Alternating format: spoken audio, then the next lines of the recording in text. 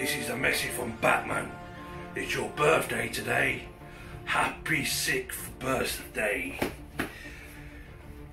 I know you got to stay in and look after Mummy, but Mummy's got you some lovely presents, and your friends and family are also missing you and wishing you a happy sixth birthday too.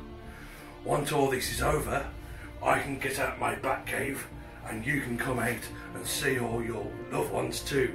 Happy sixth birthday.